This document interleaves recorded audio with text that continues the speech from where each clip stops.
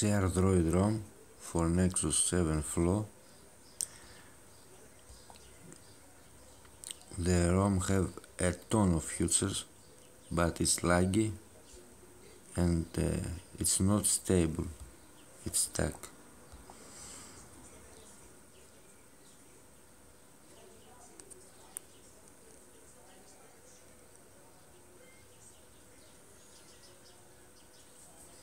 I love the, the future of the ROM